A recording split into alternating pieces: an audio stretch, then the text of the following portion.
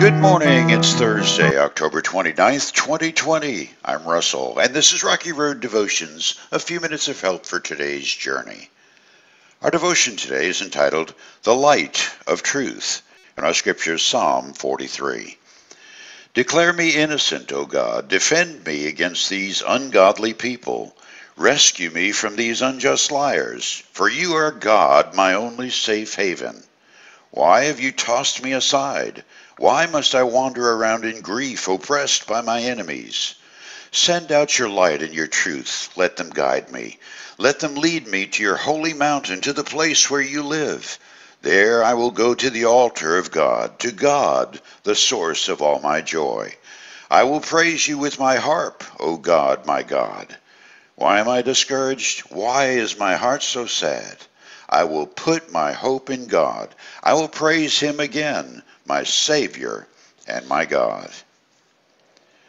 Sometimes when you read Scripture, it's an easy mistake to read in a bubble of isolation. That is, you see the biblical characters as if their lives are somehow different from ours. Technology and science aside, there's not a breathing human living on the planet at this moment who is any different from those who dwelt in caves or wrote on clay tablets as opposed to iPads and PCs. King David's life was not lived in a wonderland like rabbit hole. His ethereal quote unquote aura had real rocks and streams and the danger of enemies, both human as well as ferocious bears and lions. When armies went to war, real men died. Disease took hold in pandemic waves, and the cancer of lies was just as caustic and devastating as today. And when David, just as you and I, faced those human conditions, he felt helpless and confused at times.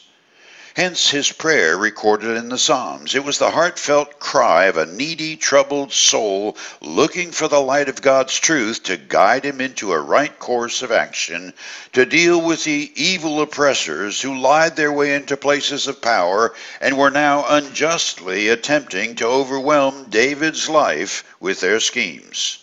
Sometimes we simply imagine evil in others or are simply fooled by accusations, fabricated stories to make an evil person seem better than he is. That should be an easy call in an election year.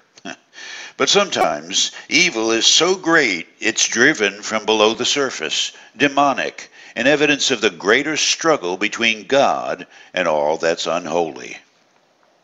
That may seem surreal to the modern mind, but it's merely an evidence of something that existed long before you and me, or David, or even Adam and Eve. Before the creation of earth and the universe, there were seeds of doubt and pride, a canker ready to usurp the very throne of God. Those seeds became the fruit of rebellion, which is recorded in Isaiah's prophecy as Lucifer, God's beloved angel, thought to replace God Almighty, but was rejected, defeated, and consigned to eternity in hell for his unfaithfulness. Isaiah 14:12. How you are fallen from heaven, O shining star, son of the morning! You have been thrown down to the earth, you who destroyed the nations of the world. The seed of sin spread to Adam and Eve and multiplied in less than a full generation as one jealous son, Cain, killed his brother Abel. And it has been so ever since. To listen to the news media, politicians, and fearmongers, it's all about racism. The problem with that is an attempt to point fingers at a single outcropping of an endemic epic cause while sidestepping the long entrenched human condition, sin.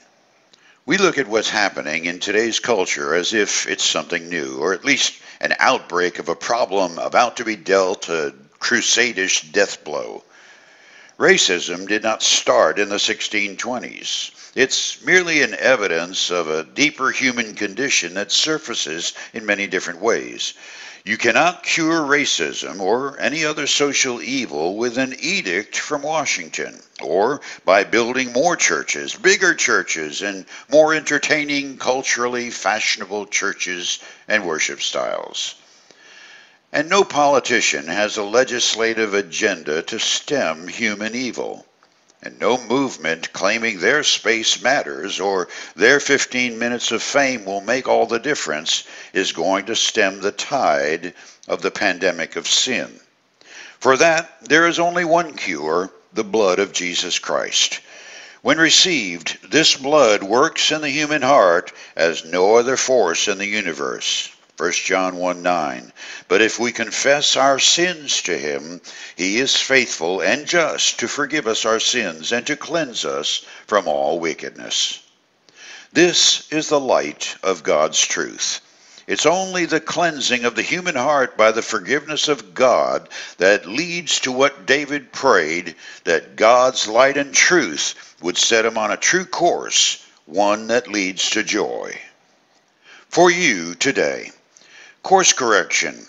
Kneel at the cross and get up with truth and light as your guide. You chew on that as you hit the rocky road. Have a blessed day.